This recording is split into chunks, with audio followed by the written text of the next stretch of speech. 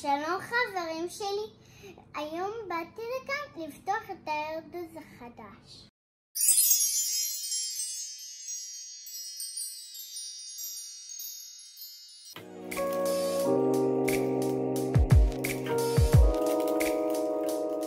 הרכבתי